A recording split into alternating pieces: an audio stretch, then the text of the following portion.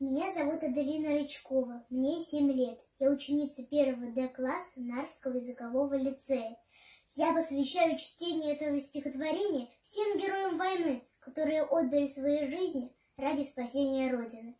Кружилась в поле злая осень. Анатолий Сафронов. Кружилась в поле злая осень, шумела поздняя листва, а их в окопе двадцать восемь, но за спиной у них Москва. На них чудовища стальные ползли, сужая полукруг.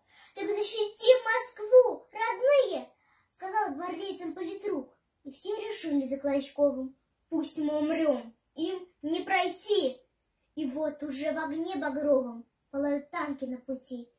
Летят бутылки и гранаты, последний бой всегда сыров. «Бей за Москву, за нас, ребята!» Последний раз кричит Клочков. Не пропустили вражьи танки герои Родины своей. В сырой земле лежат останки, лежат тела богатырей. Но славу их ветра разносит, и слышит Родина слова. Их было только двадцать восемь.